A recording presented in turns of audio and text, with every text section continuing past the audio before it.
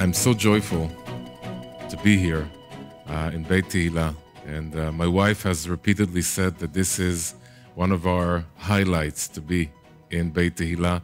Uh, we actually built the whole tour around coming here, being with you, and it's really a big, uh, a big honor and joy for us to be here with you, and uh, and feel you, be with you, talk to you, um, and. Uh, I, I, I, I, think it's important uh, with, with, with that joy and happiness also to mention that uh, today the uh, Jewish people is commemorating the 17th day of the month, the Hebrew month of Tammuz.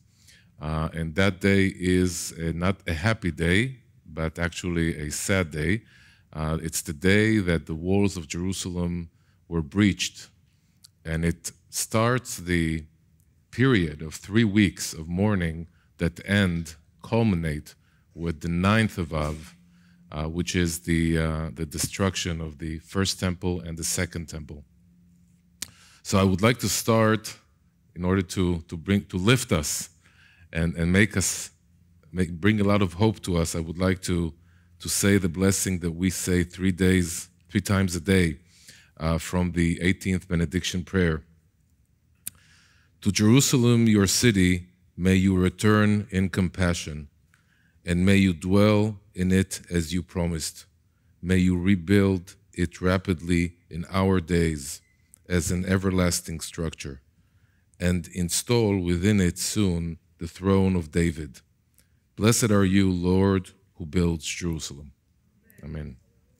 As Jerusalem is in our heart all the time, um, a, a Jewish groom standing under the chuppah has to say, if I forget you, O Jerusalem, this is an integral part of our identity, of our spirituality.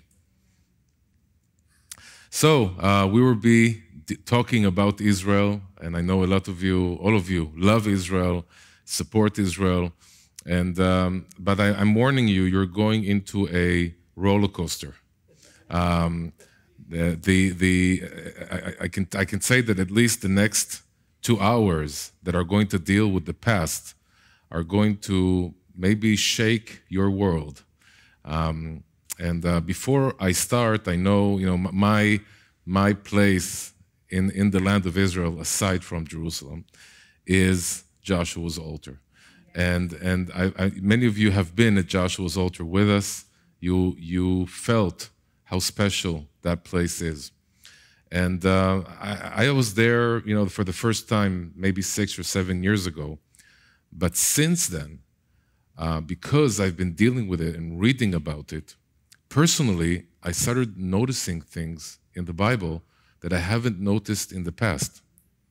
Um, personally, just reading the Bible, seeing how the altar is connected to so many things that I've never noticed before. So I'm going to share that with you. The second thing that happened is that I met other people like me who also love the altar, who also love archaeology. And they shared with me their insights, and I shared my insights with them. So suddenly there's a discussion among us, and we are enriching ourselves as to how important that site is. So, with your permission, I will dedicate um, 10 minutes just to recap Joshua's altar uh, briefly to, to talk about it and, and what it is. Um, the blessing of the, the, the, the ceremony of the blessings and the curses on Mount Ebal is probably after Mount Sinai the most important ceremonies that the Israelites did in the Pentateuch, in the five books. Um, it's a, a covenant that was done not in Mount Sinai in the desert. It's a covenant that was done in the land of Israel. It's, it's the commitment of the Israelites to believe in God and to fulfill his commandments, but also an understanding that if they don't follow God's commandments, they will be punished. the, God is looking at us all the time. He's all the time watching us. And many of the curses that are uttered between Mount Ebal and Mount Gerizim are curses for actions that are done in hiding. You know, you think, you know, you, you, uh, in the outside, you, you're righteous, but inside, you think no one's looking. So you do whatever you want. So, in the land of Israel, when you have a house, it's not a tent, it's a house now. In a room, you have a place to hide? No. God is looking, God is watching, and you have to commit to God that you will follow His rules. So, this ceremony is so important. And we know that the Bible doesn't repeat stuff all the time. They, the Bible is very, very, uh, makes, makes things very clear and short and, and doesn't go into too many details. Um, but here we have twice a, a description of the ceremony that is supposed to happen in Canaan at Mount Ebal. So let's start with the first. So this is Deuteronomy 11. The Israelites are not yet in the land of Canaan, they are on the eastern side of the Jordan River, and they are listening to Moses. Moses is giving his last words in the book of Deuteronomy. And Moses says, The first thing you do when you go into the land of Israel is not to go to Jericho and conquer Jericho, not to go to Ai, the first thing you do, you go to Mount Gerizim and Mount Ebal, and you do the ceremony. And where is that ceremony? Moses is very clear. I'm going to give you, you know, Israel, Israelites, you don't have a GPS on your on your cell phones, okay? You want to know exactly where it is, so there's no mistakes. I'm going to tell you. Mount Gerizim and Mount Ebal, as you know, are across the Jordan westward toward the setting sun, near the great trees of Moreh, in the territory of those Canaanites living in the Arabah, in the vicinity of Gilgal. Very clear, okay, to them. Um, what I'm going to do now, I'm going to use Google Earth to, to show you exactly what we're talking about, what, where, where exactly it is. Ready? This is not my drone. You know I love drones. Uh, this is, we'll see, we'll, we'll, get to the drones later. Uh, we are zooming into the land of Israel, and what we see in the middle is Judea and Samaria. Uh, Judea is to the south, Samaria is to the north. Okay, this is Samaria, this is Judea. The Israelites are east of the Jordan River, and we are looking right now at the city the Arab city of Nablus. The Arab city of Nablus is not Shechem. Shechem is, is a small, small circle here that we cannot see from here. This is Mount Ebal, and this is Mount Gerizim. So um, if we want to, to, to get another, we're going, to see another angle of these two mountains, Mount Ebal and Mount Gerizim. By the way, you see this is the summit. On the summit, there is a, an Israeli army base. So when, when we go with Beit Tehillah to visit Joshua's altar, we go up to the army base, we go around it, and then we go to the altar. But where is the altar? Okay? So here's the problem. When people looked for the altar, they did not look at the right place. Okay, they looked at the Bible. We're talking about Christian archaeologists in the 19th century. They looked at the Bible. They imagined that the ceremony took place between the two mountains. Half of the tribes stood here, half of the tribes stood here, the Ark of the Covenant and the priest in the middle, and that's where the ceremony, the blessings, and the curses happened. Now, God commands Joshua to build an altar. Where? On which mountain? Mount Ebal, right? Many people say Mount Gerizim because Gerizim is the blessing. Why does God command the, the altar to be built on the mountain of curse? Okay? Remember that question? If I forget to answer, ask me. I think I know the answer. Um, and so they were looking for the altar on the southern slopes of the mountain, right here. And guess what? It's not there. Okay? Let's see another angle. Some crazy guy flew his drone above Nablus, the Arab city of Nablus. You know, I don't know who that was. It's totally crazy. Um, so what we see here is the slopes of Mount Ebal. This is the slopes of Mount Gerizim. And here, you see this hollow area, this vacant area? This is ancient, the ancient city of Shechem. Okay, this is Tel Shechem.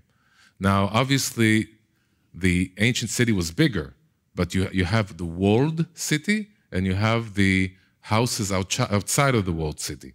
So the walled city is exactly this area right here. By the way, we're passing the, the tomb of Joseph down here. Okay, but this is Tel Shechem, and the archaeologists are looking for the altar here because this is where the ceremony should have happened. Okay, but no altar. So they write in their reports maybe it was destroyed, maybe someone built something on top of it, and they continue on.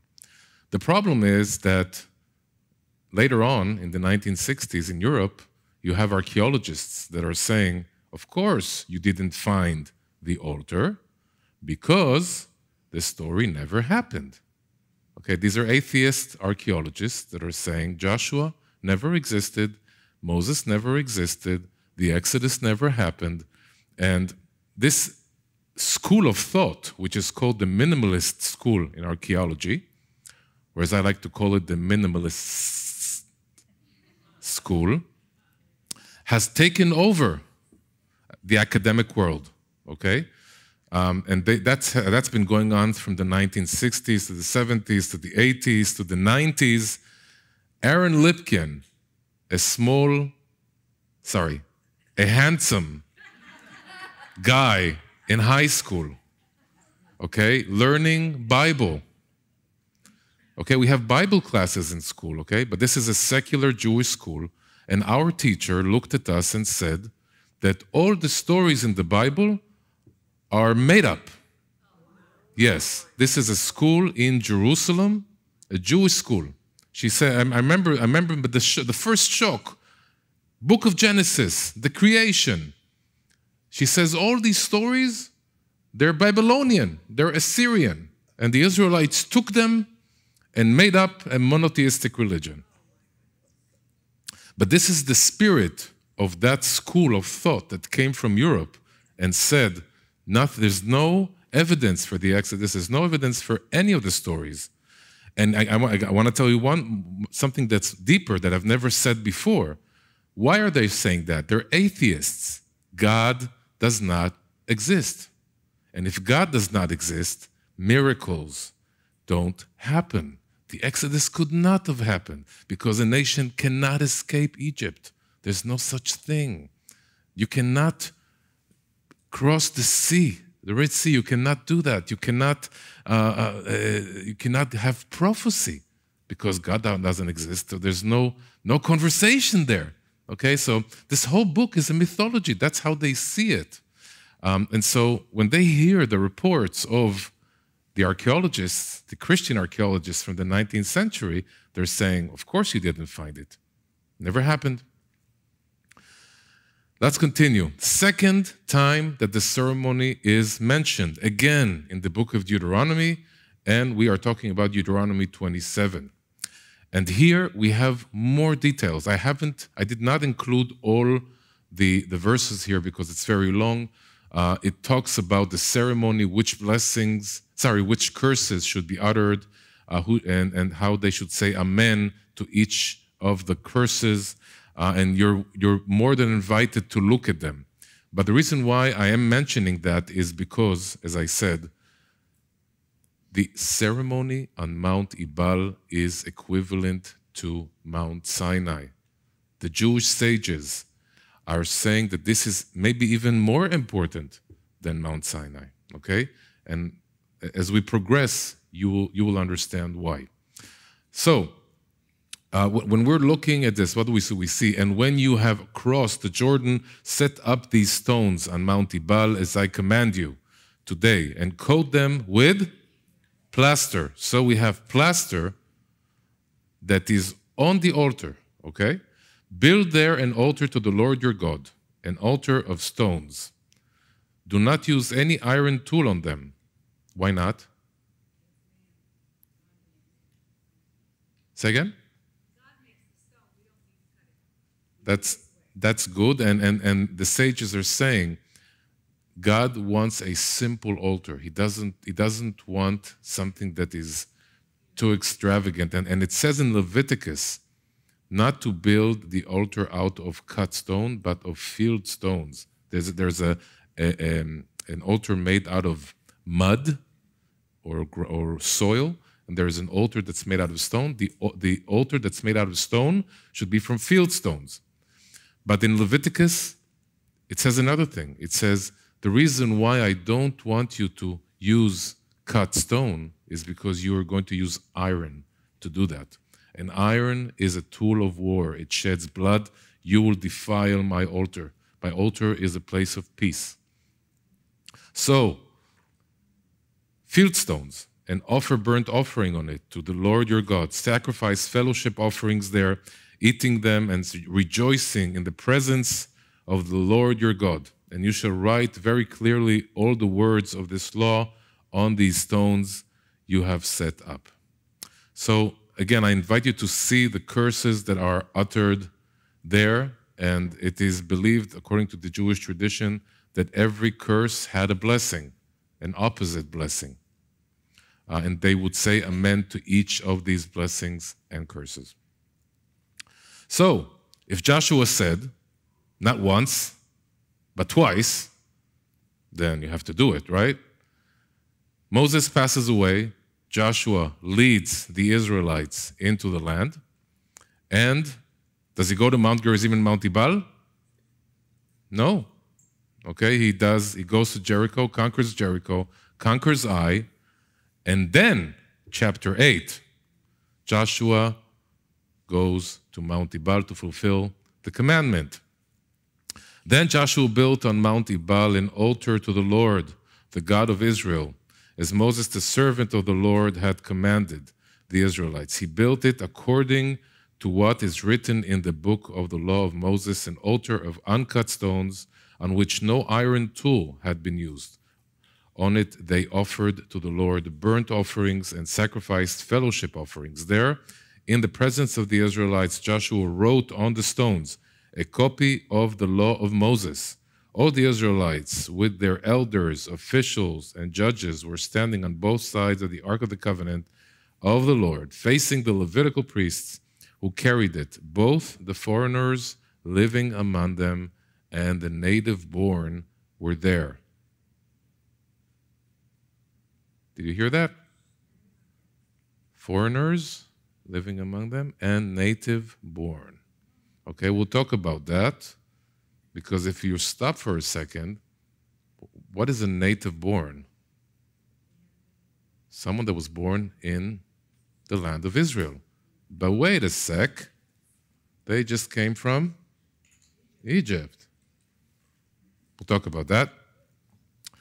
Um, and uh, and half of them, half of the people stood on, in front of Mount Gerizim, and half of them in front of Mount Ebal, as Moses, the servant of the Lord, had formally commanded when he gave instructions to bless the people of Israel. So you understand the Christian archaeologists, when they imagine the ceremony, because they're reading this, they're seeing exactly what the Christian archaeologists you know, saw. They see, see, see them on both sides of the, the mountains facing each other. That's how it should be.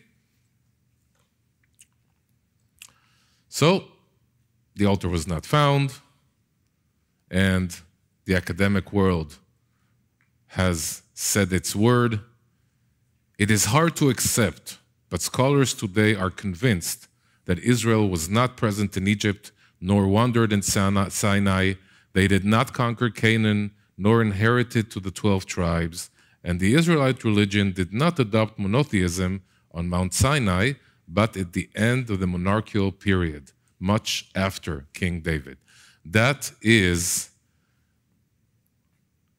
a very mainstream view in archaeology, but not also not just in archaeology, in sociology, in history. It affects so many fields in the academic world that I remember, you know, when I wasn't wasn't just a handsome high school student, but I was also a handsome student in the in college. And and when I when I worked at the lawyer's office, there was a, a, a beautiful red sorry, a red-headed girl that, that worked in my office, and and she came to me and she said, Aaron, you know, I, am learning archaeology in the Hebrew University of Jerusalem. And you know what they're teaching us? That Moses never existed, that Joshua never existed, that the Exodus never happened. And, and you should know this is not just in, in, in Hebrew University or in the Tel Aviv University or the Haifa University. This is in every university in the world. Okay? And when, and when our children are sent to those universities, if they're not learning archaeology or Bible or history, they are learning other subjects in that spirit the spirit of atheism, the spirit that doesn't believe in God, that doesn't believe in the Bible. I remember as a kid, sorry, as a, as a student walking in the, in the streets of Jerusalem, and suddenly I saw an ad, and the ad said, a lecture by Professor Adam Zertal from the Haifa University, professor of archaeology, and you know, you would imagine that under it it would say the Bible doesn't exist, the, the, the Exodus never happened. But no, he is going to speak about Joshua's altar. I said, I have to go and listen to this guy. Maybe, maybe there's something changing. And I went and I fell in love with him. And from that point on, my life has been intermingled, is that the word? With um, Adam Zertal and his life and his project. And, you know, Adam Zertal was not a religious person. He did not believe in God. Uh, he was a left wing socialist, atheist who was, who was brought up in a kibbutz. But God chose him because of that, because he was about to find something that shook the world of archaeology, the biblical world, and this he was the only one that could bring this forward and promote it. If it was a religious archaeologist, no one would have accepted it because relig religious people are not objective, they're subjective because they believe in God, they see everything in a certain way, and so you cannot trust their findings. Okay, we'll get that. We'll get to that later on because I have an a Christian archaeologist that is facing the same problems and we're going to talk about that. So, 1967, Israel liberates Judea and Samaria, the biblical heartland of Israel, where all the amazing stories of the Bible were supposed to happen. And Adam Zertal sees an opportunity. He says they're going to bring Judea and Samaria back to the Jordanians and sign a peace treaty.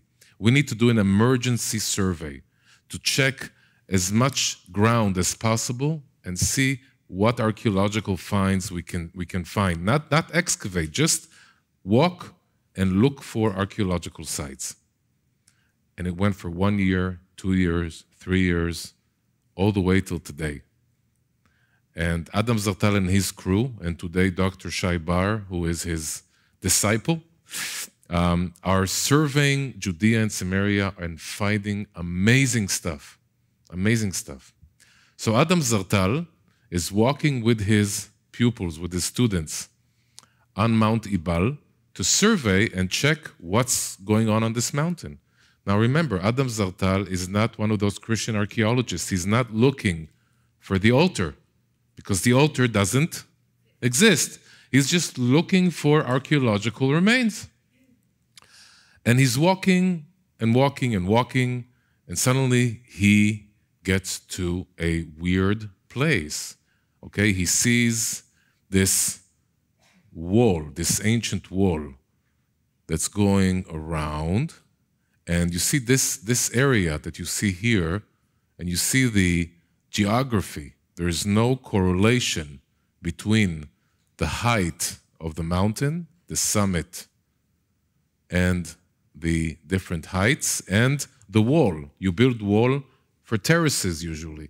But here, the wall didn't, didn't take in account the geography, the shape of the wall had a meaning of its own.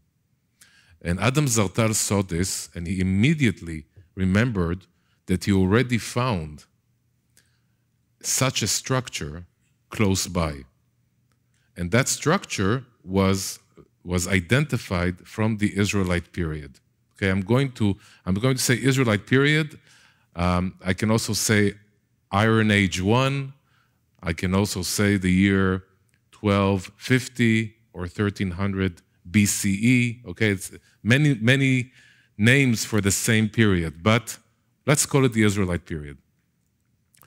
And he goes in to the compound, and suddenly, when he gets to this area, he sees thousands and thousands of the most valuable thing for archaeologists not gold, not silver, not, not jewelry, not diamonds, pottery. Okay? They see thousands of pottery pieces. They pick them up, they look at them, believe it or not, they taste them, and they say, This is Israelite pottery. This is an Israelite site. There's no other pottery from a different period. This is only Israelite. And at the highest point, they see a big pile of stone. Let's get back to that crazy guy with the drone. So here we see the reconstruction of the wall. Okay? You see that there, there's no correlation between the, the wall and the geography. There is a, a, a, a descent here, and this is one of our groups visiting the sites. And over here, at the top, the highest place inside that compound, what they see is a pile of stone. So Adam Zertal, this is 1980. Adam says, I need to come back here. I need to check this place up. And 1982, they start the first excavation season, which goes on until 1989. And this, this pile of stone is, is, is weird because what they're starting to do there to excavate is, first of all, they peel away the outer layer of stone. And suddenly, after, after a certain time, they start seeing walls, straight walls, under it. And these walls look, look weird. They, they continue uh, uh, taking away, taking, peeling the, the outer layer of the stone. And you see this area right here? You see this area? This whole area was sealed at the top. They take away the floor that was on top and they find inside two meters of ashes and bones. In these two courts, they find vessels that contained vegeta- vegetation, vegetarian, uh, like seeds and grapes and, and, and, and wheat. They see that there is a ramp going up and a secondary ramp on both sides. Adam Zertal is seeing this, and, and he's, you know, in the back of his head, it's not the altar. The altar doesn't exist. It's not it. So what is it? What do archaeologists do? They go to libraries. They like to sit in libraries and look for examples from other cultures. And, he, and Adam Zertal is looking and looking and looking in Egypt and Syria and Babylon. He finds in Babylon something interesting. There is a the, the, the, the Babylonian temple, the Zikkurat, has certain similarity to the altar, but still it's not it. It's not, that's, that's not a zikkurat. So Adam Zertal is sitting in the dining hall of Shavei Shomron, which is the Jewish community nearby Mount Ebal, and he's sketching the, the, the weird structure that he saw.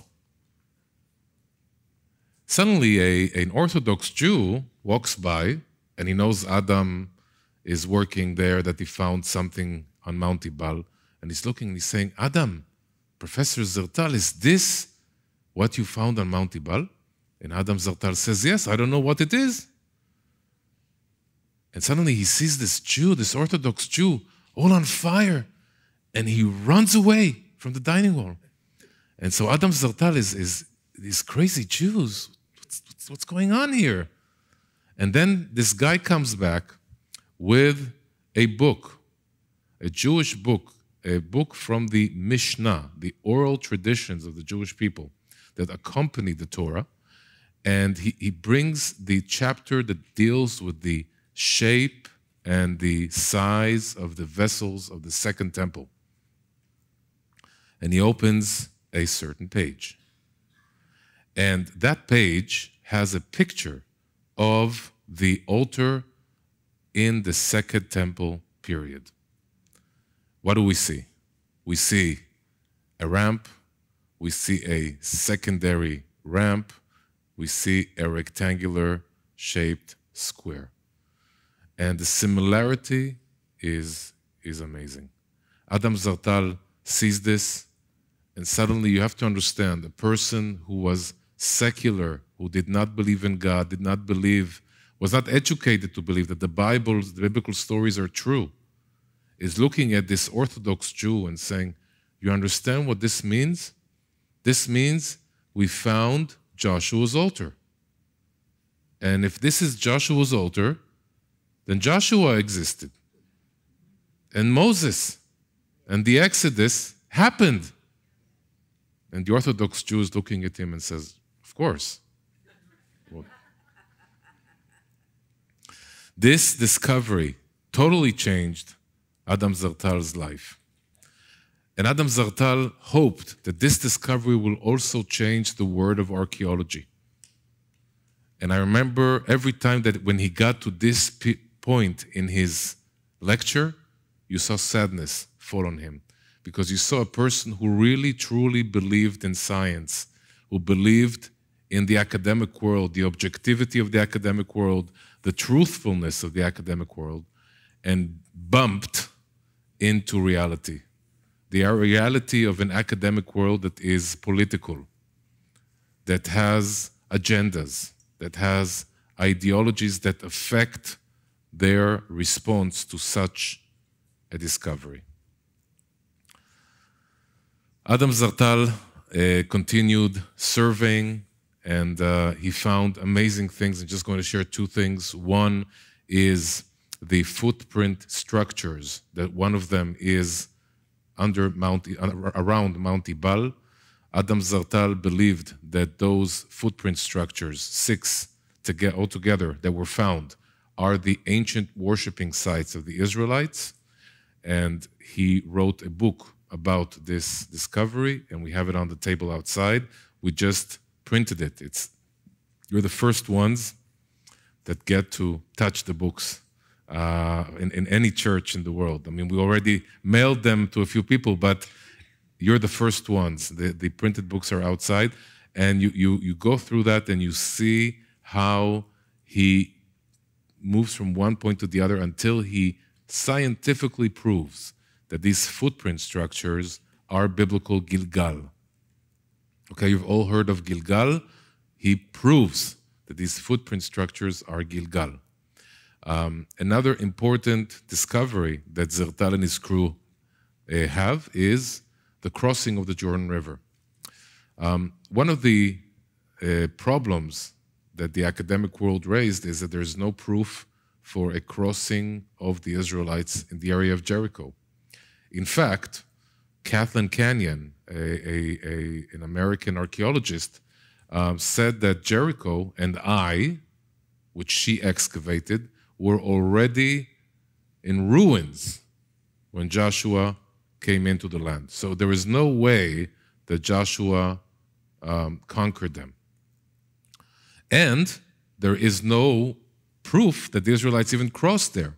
No, nothing. There's just no proof. So, you know, these, these reports come in, and again, they strengthen the minimalist school. And then Adam Zertal comes and changes everything. Okay? They walk, literally walk every meter, every meter of the Jordan Valley, and they find the crossing point. Okay? Now, the crossing point is not only in Jericho, because we believe that the Bible is true, that the stories there are true, that they happened.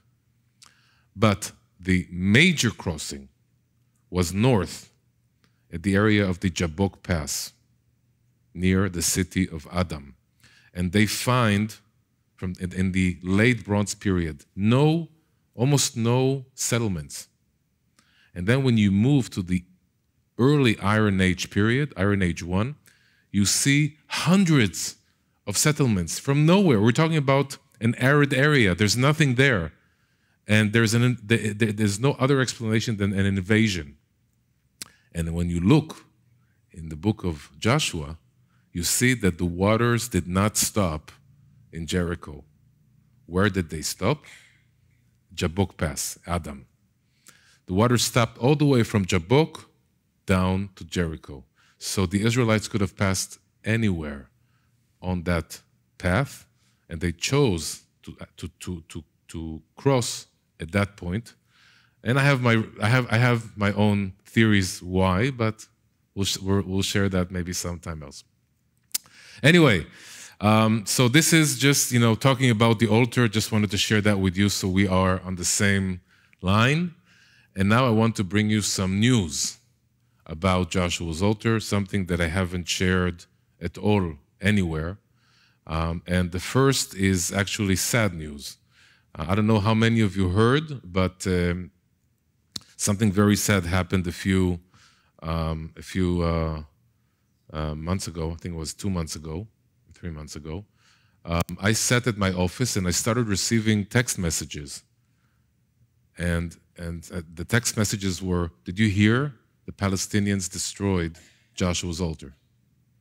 And this was probably one of my biggest nightmare uh, because the area is really nowhere. It's like forgotten. And I was really afraid that the Palestinians would just come one day and just bulldoze the whole, the whole site. And uh, I immediately uh, connected to all the elements, to all the organizations that are taking care of that, that care about this place. And, um, and this is a,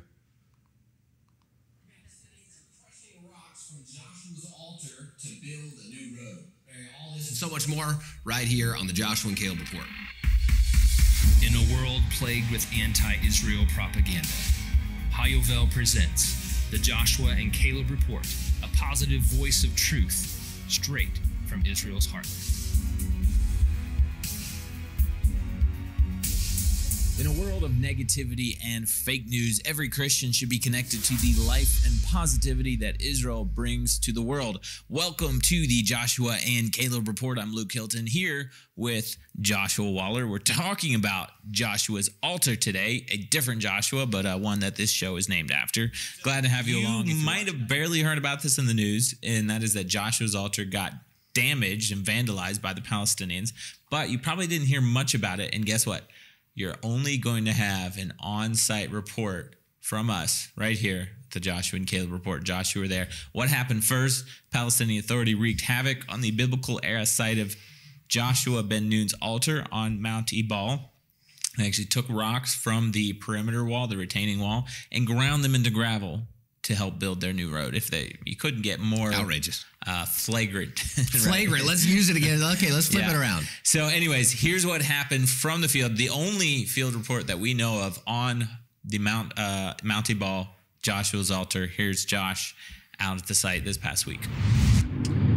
Okay, guys, uh, we've just gotten word that uh, an ancient archaeological site that is actually near and dear, close to my heart.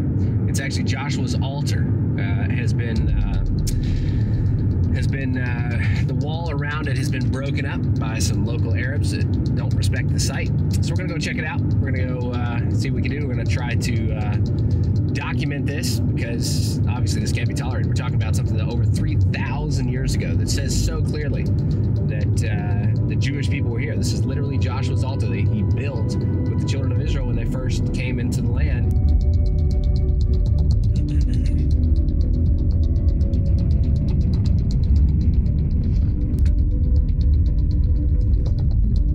Now we're inside of the footprints.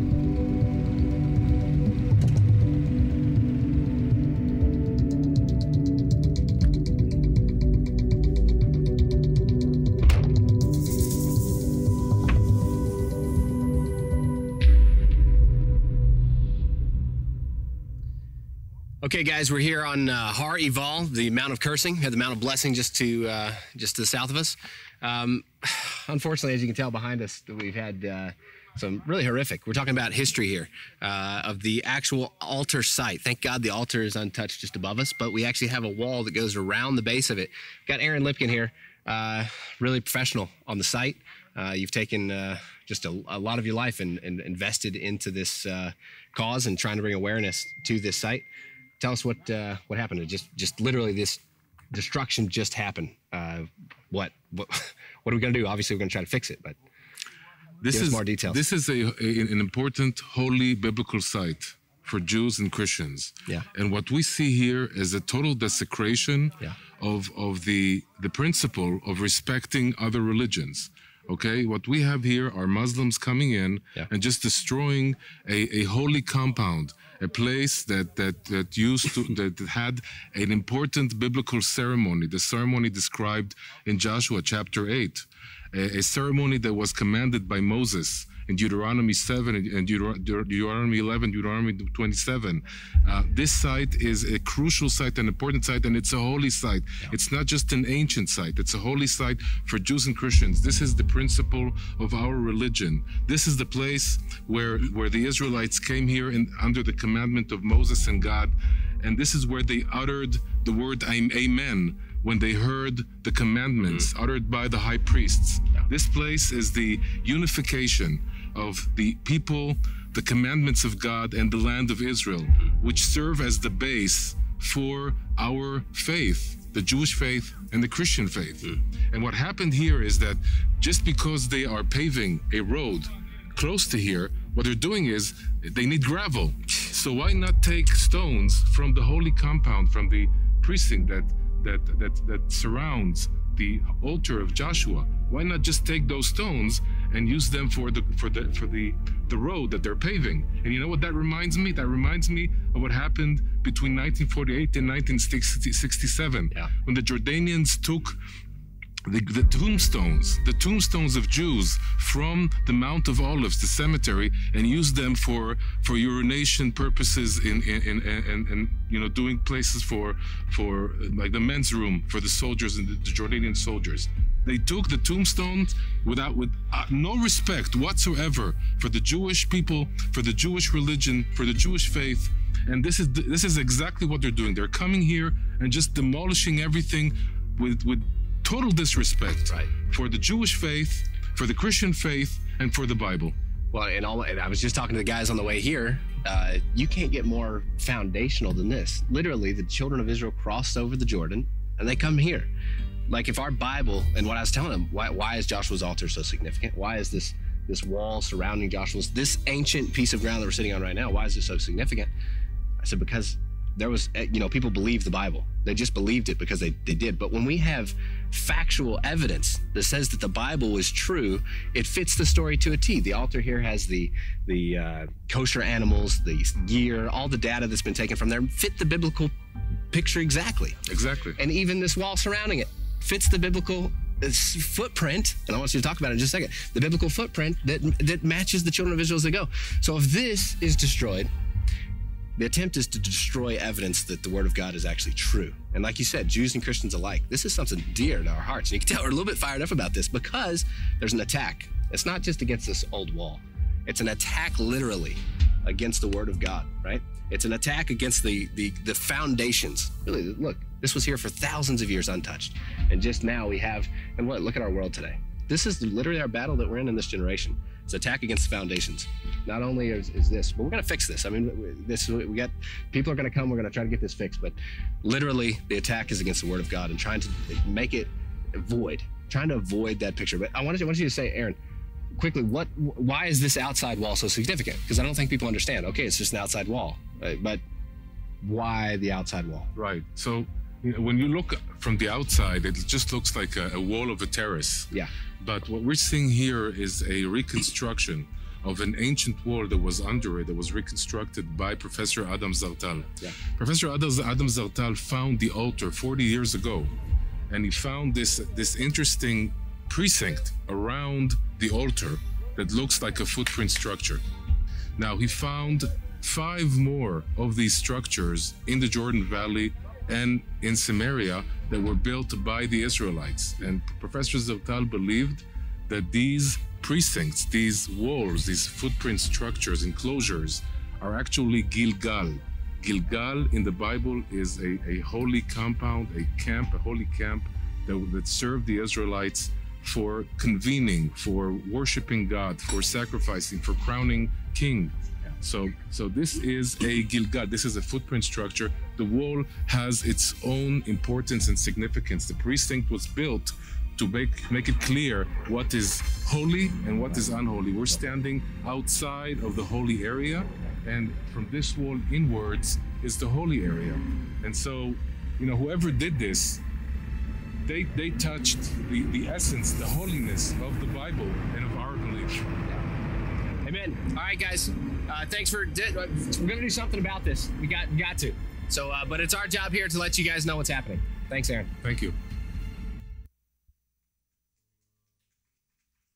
You can see how emotional we were both, both of us. So emotional. It was so troubling to see it, um, especially because for me, it's really a place that is close to my heart, and you understand it now. Um, right after we took that video, um, we came with a couple of volunteers from Hayovel, Christian volunteers, and uh, we had volunteers, Jewish volunteers from the communities in Samaria, and we worked for hours to to um, restore the wall that was uh, broken, and that was I think I think that was that was good. Um, it, you know, it says that when Pharaoh would um, would molest the Israelites, they even grew bigger. And so what happened there was, was, was exactly that. You saw Jews and Christians working together to restore the biblical heritage. And I'm, I'm telling you, a site that was unknown for many Israelis, that Israeli politicians never bothered to visit, thanks to the Palestinians, became a hit Okay? Now, you've, you've all heard of Netanyahu, right? Benjamin Netanyahu. I love Netanyahu. I, I am what's called a Bibist. Bibist is a, a, an arid follower of, of, of, of Netanyahu. Okay? You, you can't imagine how many problems I have with my mother in law. Uh, but but this is, this is, I really love Netanyahu. And Netanyahu came out with a, a declaration about this terrible deed and, uh, and also the president of Israel, Ruby Rivlin, also came out with a declaration against this, against the damage that was done to Joshua's altar. And even the current prime minister of Israel, Naftali Bennett, also came out with a video. You want to see it?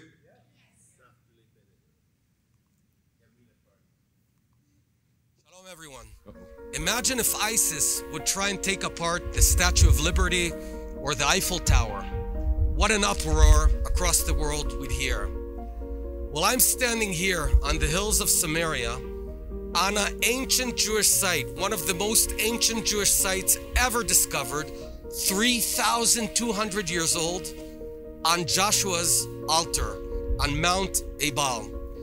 On this very mountain, 3,200 years ago, the Jewish people came out of Egypt, crossed the Jordan River, which is right over there, came up through Nablus, and met here for their last central meeting of the Jewish people before spreading across the land of Israel and building our national home over here. A few decades ago, famous archaeologist Adam Zertal discovered this altar and found evidence for it being the original Jewish altar.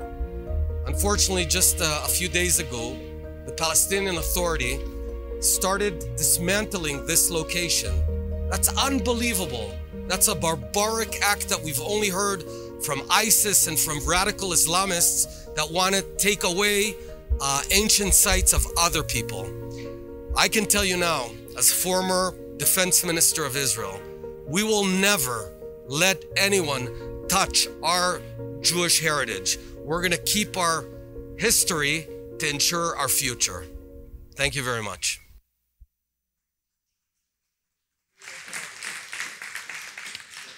Now, I, I, think that, that, that when we're going to talk about that on the second session, but this site, Joshua's altar, just like Temple Mount, is the place where you have on one side the Jewish people and the Christians who believe in God and the Bible, and on the other side, you have atheists and you have Muslims. And they are trying to attack trying to erase those sides that, that give us Bible believers grounds.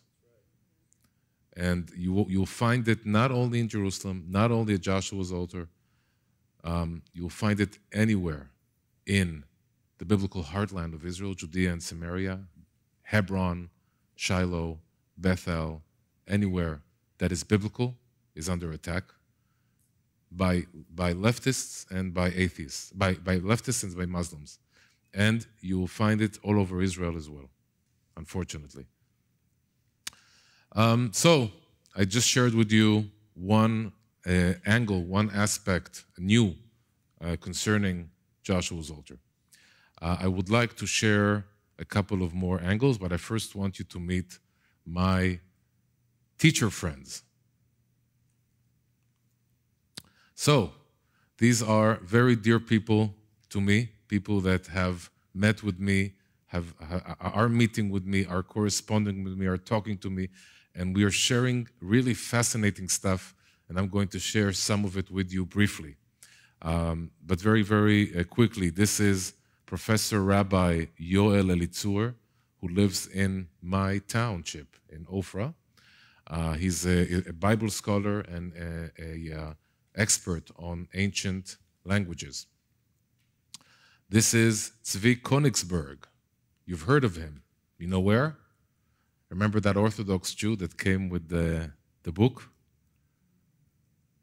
Of course, it, of course, the Exodus happened. What do you mean? So this is this is him. This is Zvi Konigsberg. Um, this is Yair Shalev, a Bible scholar from the township of Shiloh, Shiloh in Israel.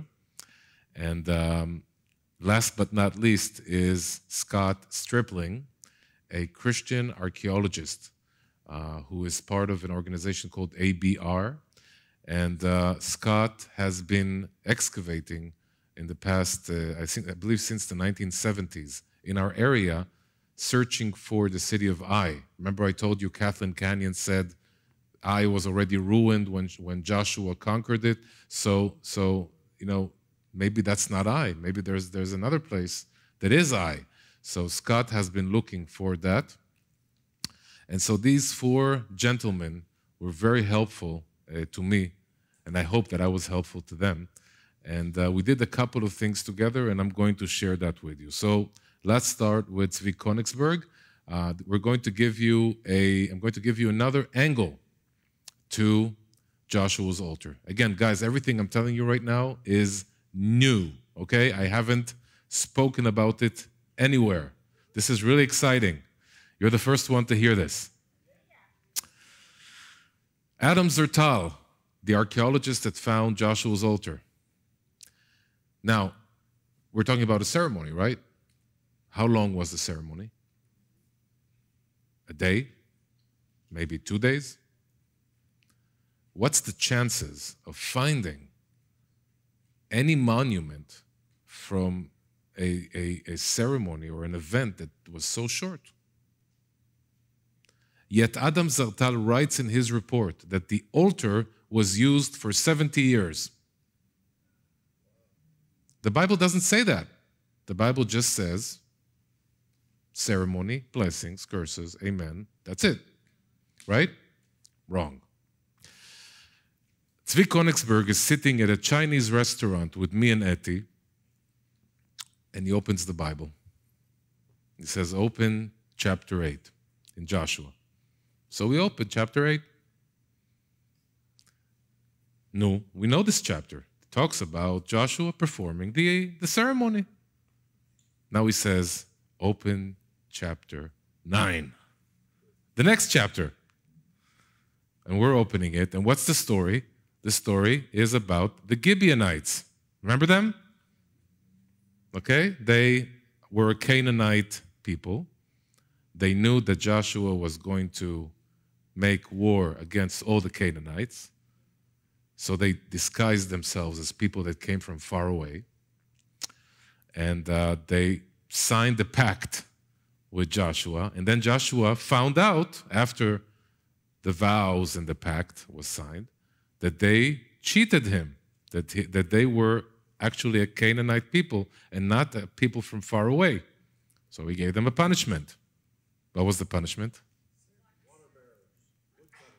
Water bearers and woodcutters. Where? At the altar of Adonai. Okay, this is a chapter after chapter 8. Chapter 8, the ceremony at Joshua's altar. Chapter 9, Gibeonites become the people who will serve the holy place, the temple, and will be the woodcutters and the water bearers. But it says Mizbeach Adonai. Okay? So, what do we understand from that? We understand that the Israelites made a ceremony of blessings and curses. Okay, this is where the Bible kind of stops. But we understand from chapter 9 and from the archaeological evidence that this site became the Jerusalem. This site was the central site of worshiping and sacrificing for the time of the book of Joshua and part of the book of Judges as well. Okay, this, this was the central place that the Israelites worshiped the God of Abraham, Isaac, and Jacob. Interesting angle, no? Zvi Konigsberg also says that in the Song of the Sea, the Song of the Sea that the Israelites sing after the Red Sea was, was torn, there is a, a verse, Mikdash Adonai konenu yadecha. The temple of Adonai, your hands made. I think this, uh, this is my free translation. And Zvi Konigsberg believes that that's a reference to Mount Ebal, that that is the temple, Mikdash. Now, when we hear temple, we think about a big building, doors, and everything, but this, that the temple is actually the place of the central place of worship. And at that time, the Israelites were semi nomadic, they were very simple people. They, they couldn't build a Solomon, Solomonic temple, they were very simple people. So that was, according to Tzvi Konigsberg's belief and mine, the, the, the, central place of worship for the Israelites. What happened after 70 years? Remember that pile of stone? That pile of stone was not the walls of the altar disintegrating. They were put intentionally on the altar to decommission it. Okay, even today, Jews, when we have a Torah scroll, okay, we put it in the gniza, we, we bury it respectfully. When we have a, a person who passes away, we bury them respectfully. Okay, remember, I don't know if you've ever been to a Jewish cemetery, but Jews take stones and they put them on the tombstone. Okay, this is an ancient ritual that comes from the semi nomadic way of burial. You, you wouldn't have enough tools to, dig all the way down. So it would be you would have a field burial, and you would put stones. Okay, so so there was a burial of the altar, which really saved it because all they had to do was just to peel away the stones, and they found the altar. And what happened in the year 1150 when this is decommissioned? Shiloh starts working. So you see how the archaeology again works together. Tzvi Konigsberg asked Israel Finkelstein, who was one of the, those minimalist atheist professors who was excavating in Shiloh, when was the site uh, uh, operational, worshiping wise? And he said 1150.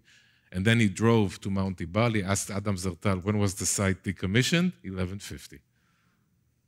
So this is also interesting.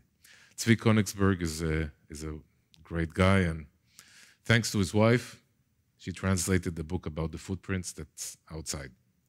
Next, Scott Stripling. So, Scott is a Christian archaeologist, and because he is a Christian archaeologist, his excavations are under a big magnifying glass. Everything that he tests and checks and finds has to be double checked just to make sure that the results are scientifically correct. Just because he's Christian, he, he, he, can't, he can't allow himself to, to fall in any way. So um, he uh, excavated in, uh, in our area, in Samaria, and uh, one of his places, the places that he excavated was Khirbet Makatir. And uh, he believed that that could have been possibly I. So they start digging, and one of the things that they find, they find a, an olive press, an underground olive press. They find a lot of coins dating all the way to one year before the destruction of the temple. And so this is a Jewish community. You have ritual baths all over the place. Um, and you have, as I said, the, the largest concentration of coins from the Second Temple period. And he, he goes down into the olive press and he starts digging and he, get, he sees arrows and he sees nails from sandals of Roman soldiers. And then inside, he finds seven skeletons of women and a skeleton of a boy. They were murdered by the Romans inside this olive press. Now, what does an archaeologist do when he finds bones? He takes them, sends them to a laboratory, diagnoses them, and stores them. But not a Christian, evangelical Christian archaeologist. These are Jewish bones of Jewish people. They were defiled for 2,000 years and not buried appropriately. They come to Yoel Elitzur from Ofra, the, the, the, rabbi that I just showed you earlier, and they ask him, they told him, they, they tell him, we found skeletons of Jews from 2,000 years ago. Do you want to bury them? Think about this. This is, this is crazy, okay? This is Israel bones from 2,000 years ago will, will have a funeral in the year 2019 or 2018. I don't remember exactly when it was. Um, and, and that's exactly what happened. They gave us the bones, and we did a funeral in my township in Ofra. So when you come to the cemetery in Ofra, you see the, the tombstones of, of the residents of Ofra, and on the side, you see a tomb, the tomb of the sisters. That's how we call it. Uh, these are Jews that were slaughtered by the Romans 2,000 years ago and today um, are buried respectfully after a Jewish burial. Do you want to see the video of that?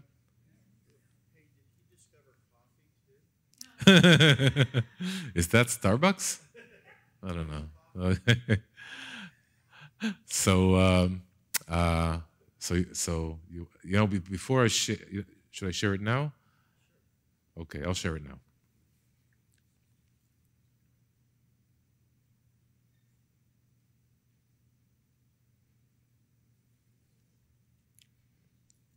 I didn't edit the movie, So uh, I will jump from one to the other. Ready?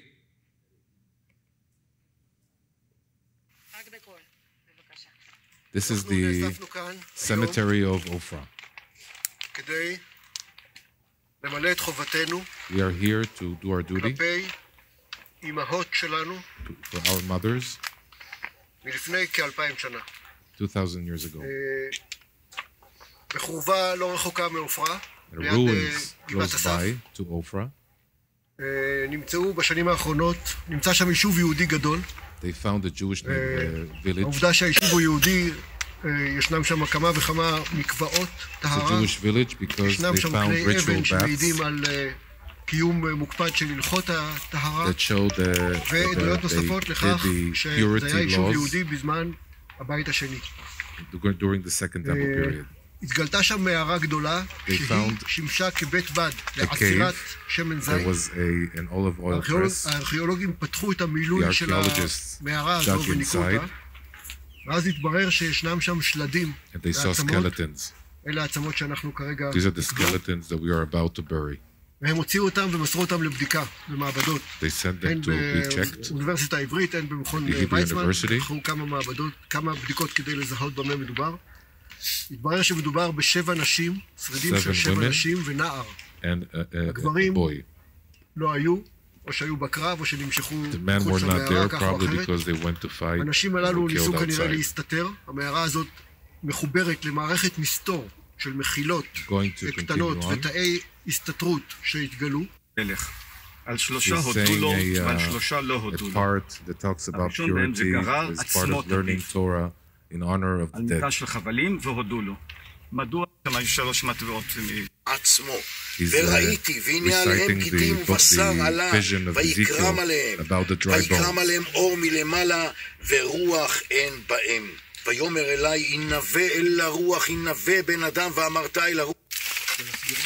We are burying the bones under the tree. You have to understand that the archaeologist uh, authorities We're not happy with this, so we have to work fast.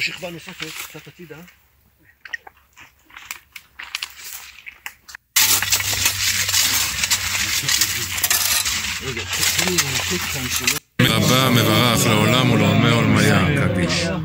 יתברך, ישתבח, יתבע, יתרומם, יתנשא, יתהדר, יתעלה, יתעלה, שמי דקודשה, בריחו, מכל מלכתה ושיבתה, תלכתה ונחמתה, אני רוצה לבקש מהם מחילה, יהודה עציון is asking forgiveness from the dead, that they were not buried respectfully. בביזיון כל שנות 2000 הגלות years ago. גם אז לא תם המסע שלהם בצורה מכובדת מיד, עברו טלטולים. אנחנו רוצים לקוות שהגיעו למנוחתם, We want to hope that they ושאנחנו came בהם יחדיו to a good place. נוכל לעמוד לפני we could stand in front of our God and say, This is our duty for them. This is man by Yoel Elitzur saying Kaddish.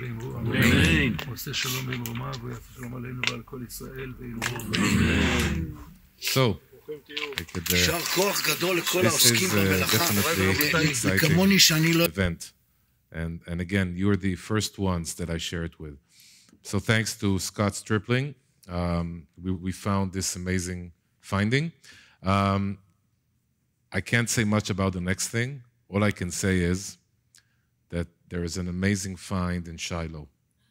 And if Scott's um, theory is right, the next excavation uh, season in Shiloh, because of COVID, we don't know when it's going to be. But the next season is going to be very, very exciting for Jews and Christians and those that believe in the Bible. So uh, stay tuned. Um, Mount Ebal. So I told uh, I told uh, Scott, listen, Scott, you you have to go to Mount Ebal. This is you, this is the place you need to go to. And uh, he said, Aaron, take me. And we went together. And I remember standing there beside the altar. It was a cloudy day, a bit rainy. and and you know we we we said we sta- we stood there together and we said we really want to continue researching the site, but but it's problematic. We need God's help. We really need God's help. And we and we prayed together, and we saw a rainbow in the sky. So we, we saw that as a good sign. And, if, and, and then a year after that, uh, Scott comes with a, a big crew and t-shirts with the picture of the altar and a rainbow. And uh, we do a secret operation of wet sifting of the archaeological dump of Professor Adam Zertal from the 1980s. Again, I can't tell you everything, but we found something, and that something is being analyzed uh, here in the United States, and uh, it could be nothing, but it could be everything. Okay, I, I won't say more than that. And uh, and so this is um, this is uh, uh, Scott, and we're back. You see everything? Okay. So let's continue to my next friend. You, you see, I have very interesting friends, right? Right? I have interesting friends, um, and it's really it's really God if you think about it. God is arranging these encounters, these meetings for a certain reason. So Professor Yoel Elitzur, who you, who you saw earlier, um, wrote a book about names of places in the land of Israel. Okay? Um, you would assume that names of places in the Bible that uh, existed 2,000 years ago, 3,000 years ago, would be erased, would be forgotten, would be changed. But there's a big miracle specifically in the land of Israel, the names of, I won't say most, but of many of the biblical sites stayed the same. And this is his project, his life's project. He wrote a book about the biblical names of places and he identifies the places and the names. So one day in 2005, I drive with him. I, he's, a, he's a hitchhiker. He, he came on my car and we started driving from Ofra to Jerusalem. Had no clue where I lived. Okay, I just went there because uh, it was a nice community, had a beautiful house, and the beautiful and great neighbors.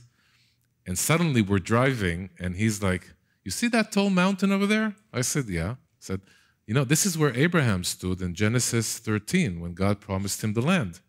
Ramat Chatzor. Who asked me about the mountain? Just you asked me about the mountain. He said, this, this mountain is, according to the Dead Sea, this is where, the Dead Sea Scrolls, this is where Abraham stood. And you see this village over here? This is the village of Bitin. Bitin preserves the name Bethel. You know what happened in Bethel? And I said, Yeah, of course I do.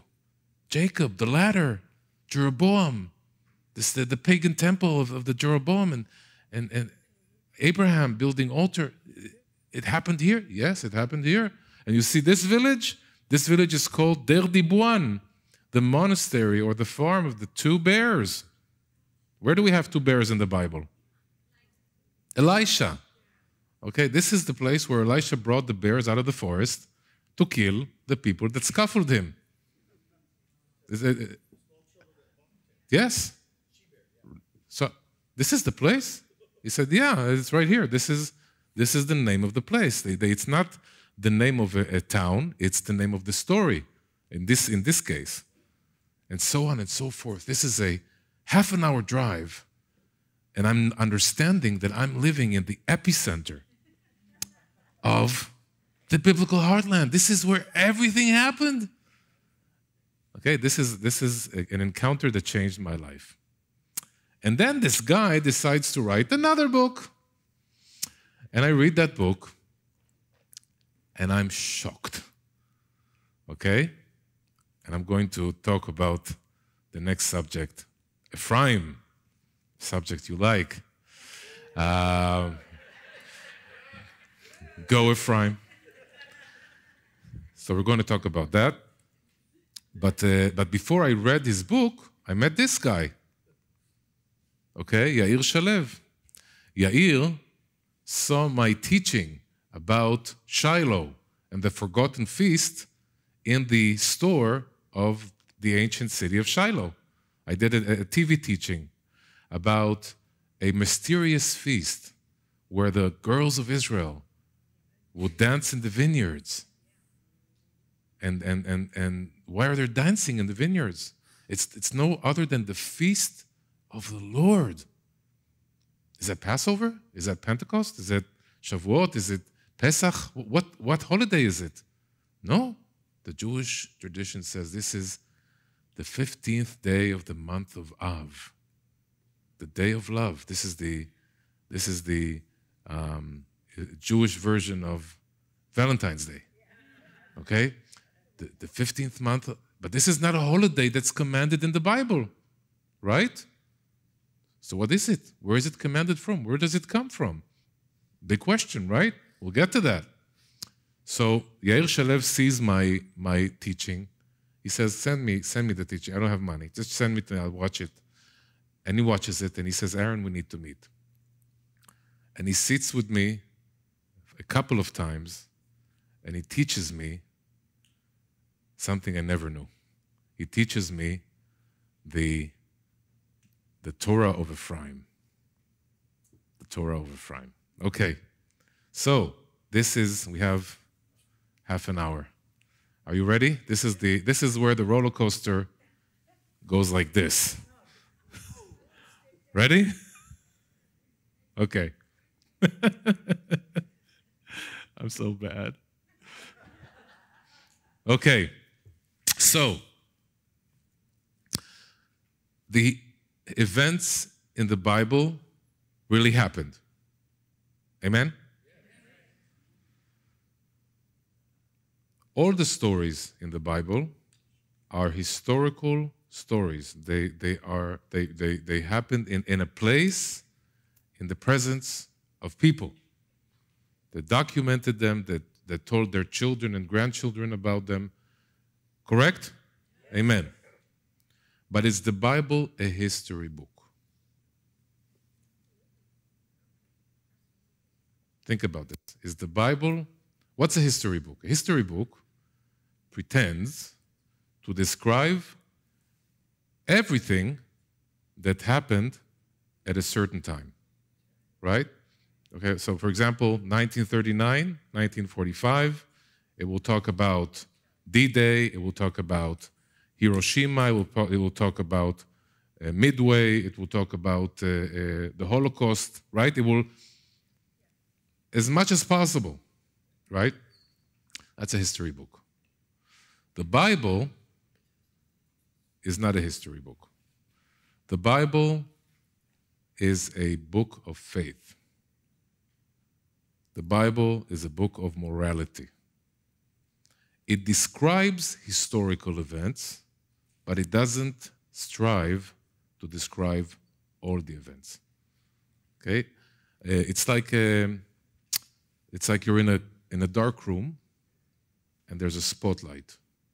The Bible is showing something, and you're following the light, but you do, you're not aware of everything that's going around. Okay, I'll, I'll give you an example. King Josiah, righteous king, righteous king. How does he die? In battle with Pharaoh, okay? All we know from the story is that Pharaoh decides to come, to come in with his army into the land of Israel. We don't know where he's going. We don't know why he's going. All we know is that he's in the area of Megiddo. King Josiah is coming to fight him. King Josiah gets wounded and get, gets killed. That's what's relevant to the biblical story. But let's add some archaeological information. Pharaoh Necho is called by the leaders of the Assyrian Empire to come and help them fight against the rising Babylonian Empire. This is a world war in ancient terms. Does the Bible say anything about that? No, because it's not relevant. Okay? So this is just one story that, that, that shows you the difference between a history book and the Bible describing his, certain historical events.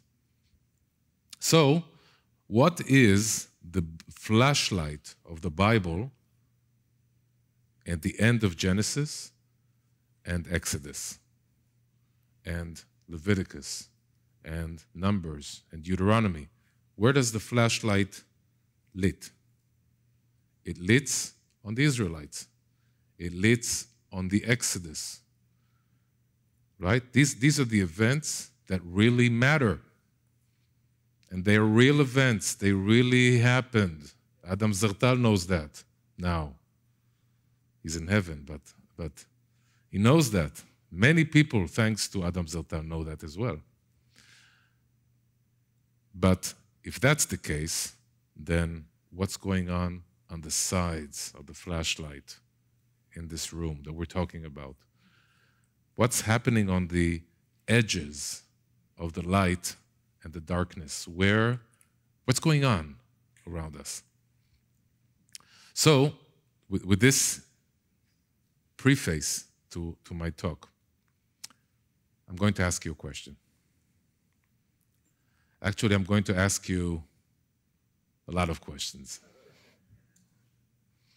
Let's try let's start with something weird. Okay? Um, the half tribe of Menashe. Okay? Have you ever stopped for a second and asked yourself, why?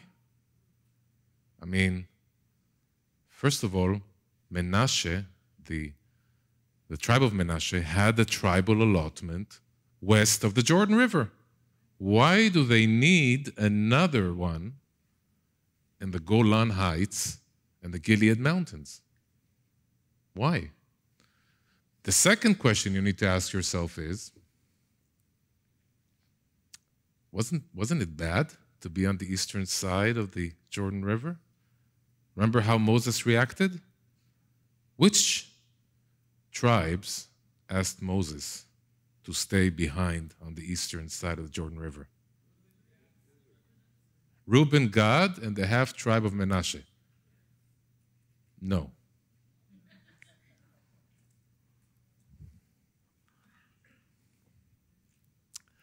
When was the land divided? We'll get to that. When was the land divided between the tribes? Joshua. Where? Which city? No. You should say Shiloh, Shiloh.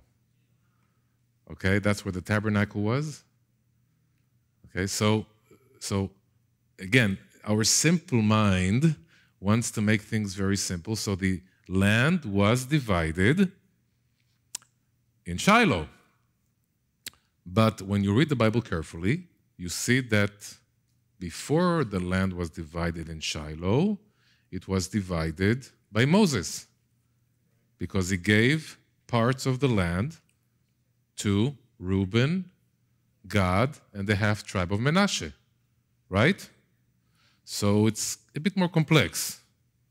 Okay, so let's summarize Shiloh and Moses at the plains of Moab. Right?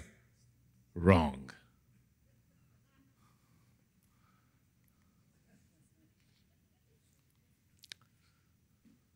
Jacob's time. Remember, Jacob comes and and Jacob has has children, right? Okay, the Bible doesn't say this. This is I'm, I'm coming. I'm, this is this is my invention. Okay, you you can take it. You, you can you cannot take it. But every family that has a has parents that are are old, they start talking. Who will take this? Who will take that? right? So, so God promised Abraham, Isaac, and Jacob that the land will be theirs.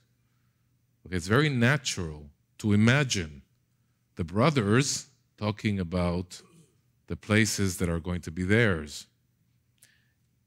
In fact, after Joseph is sold to Egypt, What happens? There's a weird story.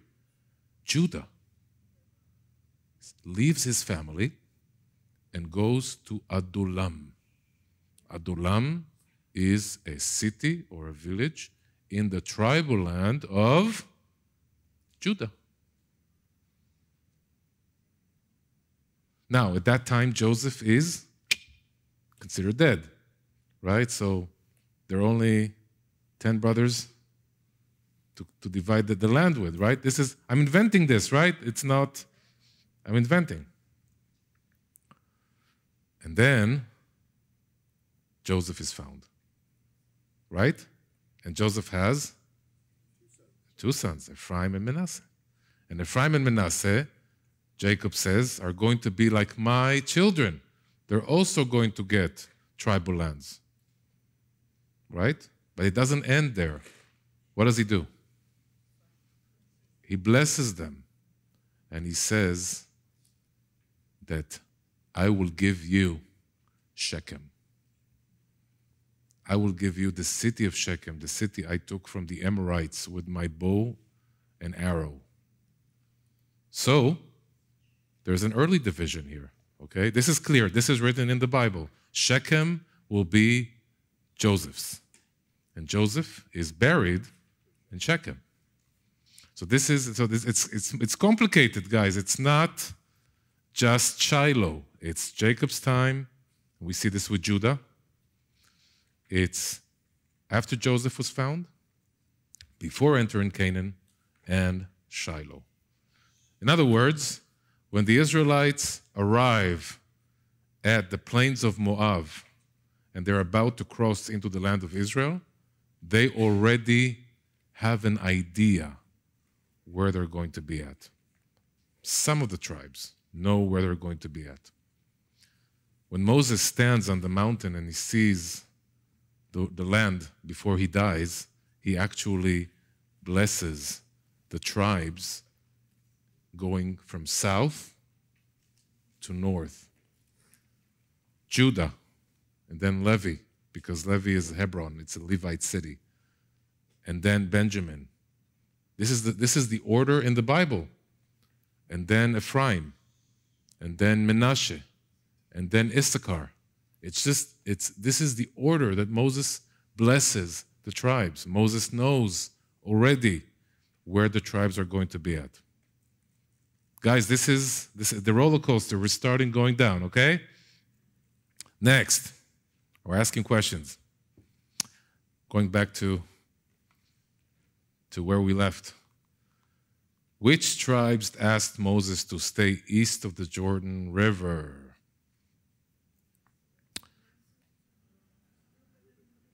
Reuben and Menashe. Only Gad and Reuben asked Moses to stay behind. And Moses is angry at Reuben and Gad for staying behind. And Reuben and Gad say to Moses, We will be the first ones to fight in Canaan. And only after we conquer the, the land of Canaan, we're going back home. Moses says, Okay. And then he gives the lands to Reuben, Gad, and the half tribe of Menashe. Even though the half tribe of Menashe never asked for it. You like it?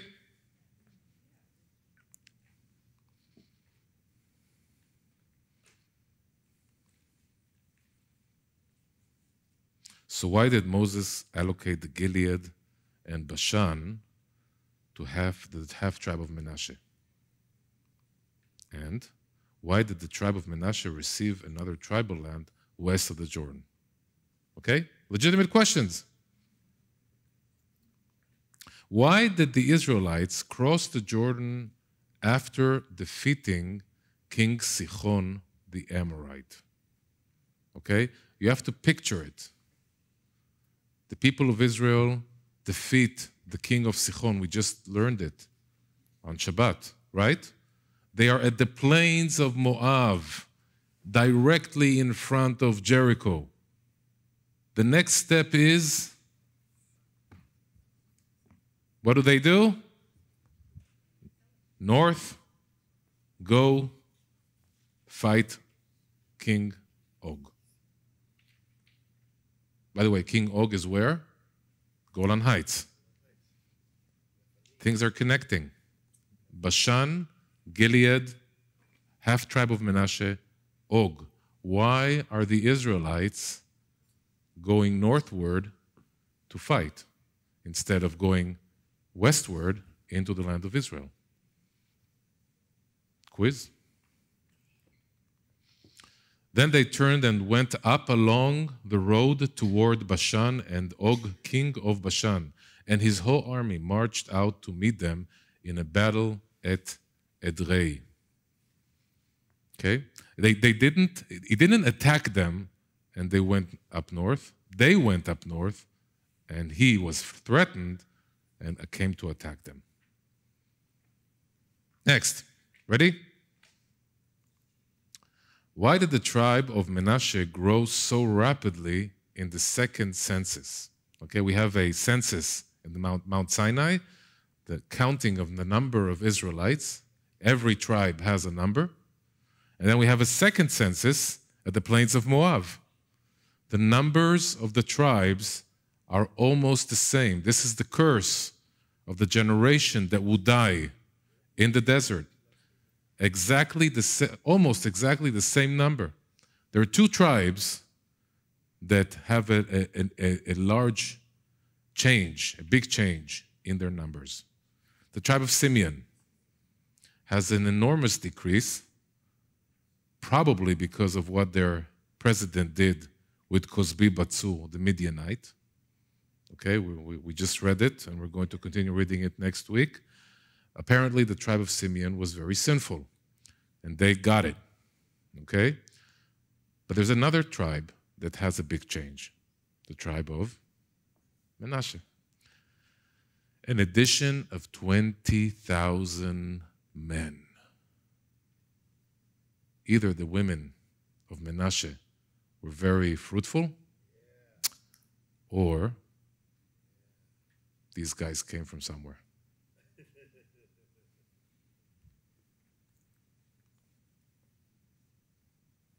These are the numbers. Census at Mount Sinai, 32,500, and Plains of Moab, 52,700.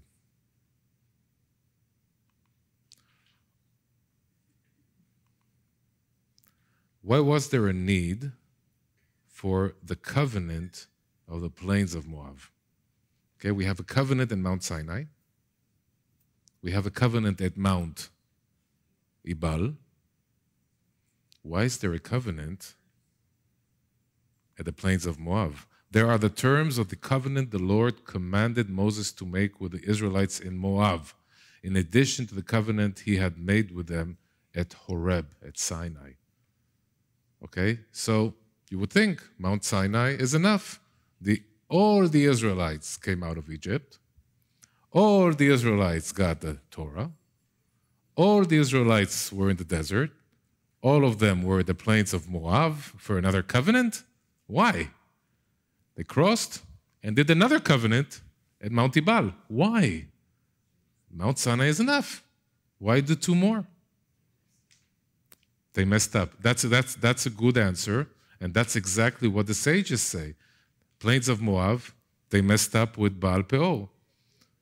But Mount Ebal, Joshua's time was very righteous. I mean, aside from the sin of uh, Ai, of, of, Jericho, sorry, um, they were pretty righteous. So there was really no reason to do another covenant. But there could be many reasons for every covenant, and we're going to talk about that. Why do the residents of Gilead have a different dialect? Where, where, where do we see that? Very good. You're amazing. Okay, judges. Remember, we say in Hebrew Yiftach. You say Jeff, Jeff, Jeftach? Jephthah? Is, is it okay if I use the Hebrew? Yiftach, okay? Yiftach fights against the Ammonites, and the Ephraim from the west, from Canaan, are coming to, to Gilead, to, to Yiftach. They're saying, Why didn't you call us? This means war. And they start a civil war amongst the brothers, Ephraim and Menashe. And Menashe, or Yiftach, fights them and kills them.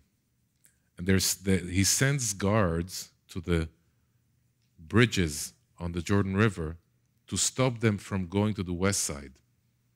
And how does he differentiate the Ephraimites from the, the, the other people in, in the east and the east side? Accent, okay? He says, You say the word shibolet, which means wheat. Okay? If they say shibolet,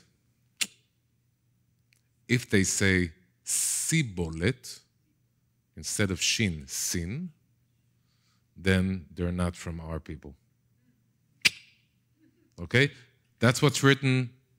So, that, so, so, but this, this is weird. I have to tell you it's weird. Why is it weird? Because both letters, shin and sin, are letters in Hebrew.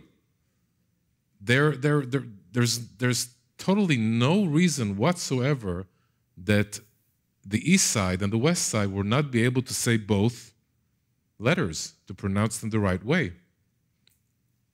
So Bible scholars say it's not shibolet and sibolet. It's shibolet and thibolet. Thibolet is in Proto-Canaanite or Aramaic turbulence. What happens when you ask an Israeli to say, I think? What do they say? I think. Because it's hard for them to say the. It's not, it's not, we don't have a, a sound like that. But in the Arabs can make that sound. The Proto Canaanites knew how to make that sound. Proto Canaanites are the Canaanites from the early times, from the early Bronze Age, from the Middle Bronze Age, from the late Bronze Age, before the Israelites came in. Are you seeing where I'm getting at?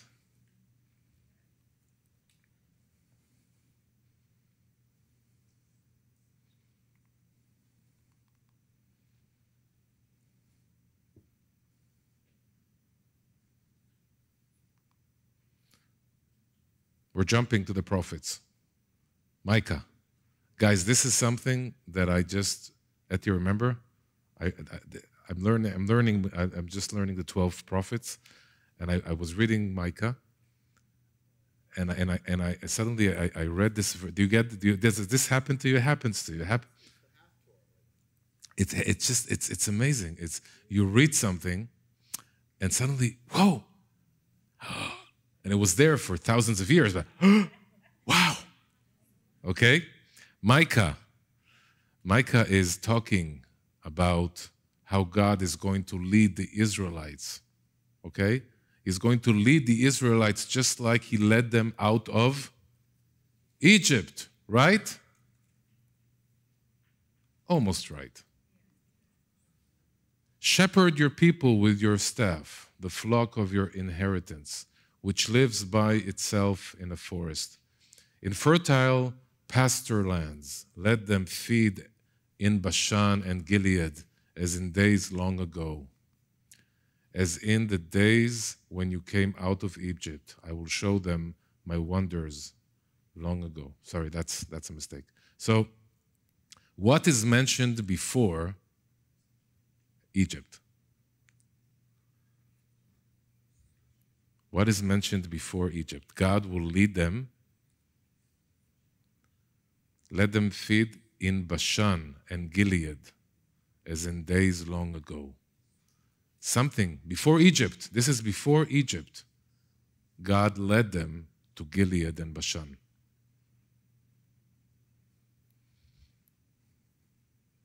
Okay? Are you ready? I'm going to connect the dots. The Bible doesn't say that. Okay? This is not where the flashlight is. It's around. Okay? But Bible scholars believe that while the Israelites are in Egypt, there are Israelites in Canaan. Okay? Now, it's hard for us to grasp because, again, in our simple mind, Jacob, Egypt, Exodus, Mount Sinai desert, Canaan. Right? That's the spotlight. But when you see these questions arise, where do these 20,000 people come from? Why is there a different dialect? Why are they not talking the same way the Israelites are?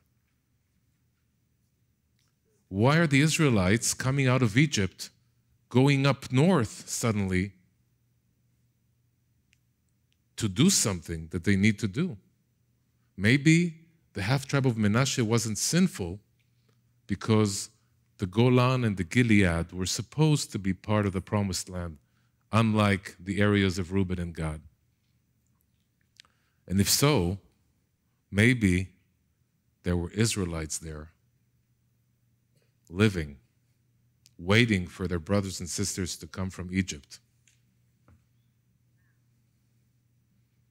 You like the roller coaster?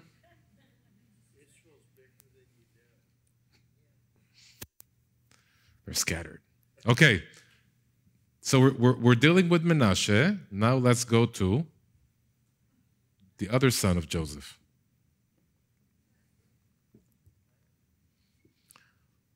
Were the Israelites absent from Canaan while they were in Egypt? Chronicles 7 20 to 27. Here, we don't have a flashlight that shows or nothing, it's on the edge of the light. Okay? I need to finish, so we'll do this quickly.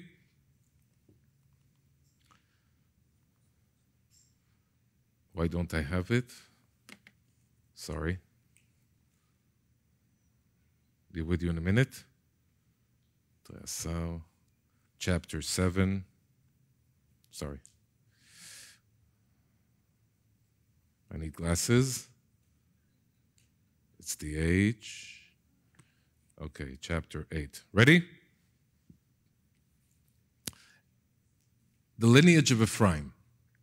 Chapter 8, chapter 7, Chronicles 1, uh, verse 20. And the sons of Ephraim, Shutelach and Bered his son, and Tachat his son, and Eladah his son, and Tachat his son, and Zavad his son, and Shutelach his son, and Ezer and Elad, whom the men of Gat that were born in the land slew because they came down to take away their cattle?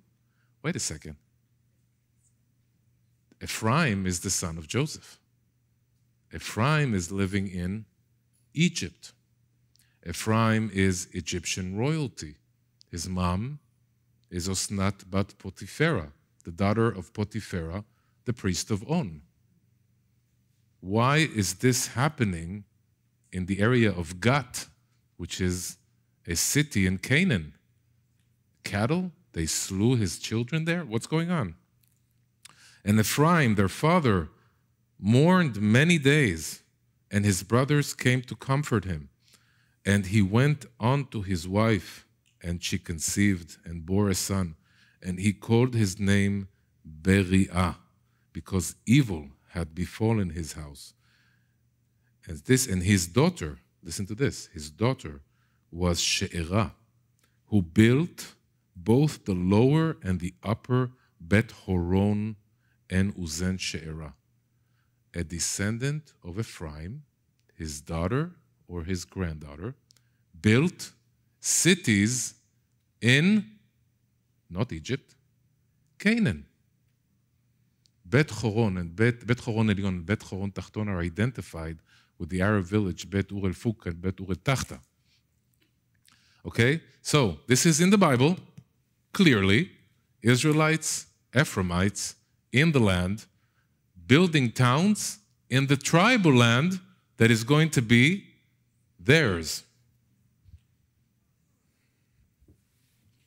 More questions. We're going to do this quickly. Why isn't Shechem and Shiloh mentioned in the cities that were conquered by Joshua? Shechem and Shiloh are very important cities. Why aren't they conquered by Joshua? Maybe because he doesn't have to conquer them. Were the Israelites absent? Oh, we did that? No, no, no, no, no, no. Okay, now it's here. Thank you. Who are the native born present at the ceremony of the blessings and the curses on Mount Ebal? Remember that?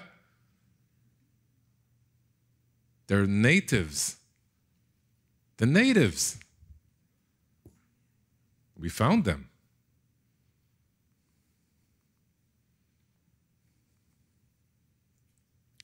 What is the annual feast of the Lord in Shiloh? Remember, we talked about the 15th day of the month of Av, the girls were dancing in the vineyards, a feast that is not commanded on Mount Sinai, but is celebrated by the Israelites and called the feast of the Lord. So, we're talking about Israelites that are living in Canaan, in the area of the, the mountain of Ephraim and the half tribe of Menashe, while their Israelite brothers and sisters are in Egypt. So, what happens in Mount Sinai? We have the Israelites that came out of Egypt, the Egyptian Israelites in Mount Sinai. But who's not there? Ephraim and Menashe the, the, the Israelite Israelites. Okay, they're not there. They don't know what Shavuot, Pesach, and, and, and Sukkot is. Think about this. We have two different Israelites. We have Sinaitic Israelites, and we have Israelites that believe in the God of Abraham, Isaac, and Jacob, that circumcise, that don't eat the the, te- the uh, remember Jacob fought the angel? They know that story. There are certain things that they keep, but they don't know Sinai. So why do you need to do a covenant in the plains of Moab? Why do you need to do a covenant on Mount Ebal? You need to bring Sinai to the natives. Thank you.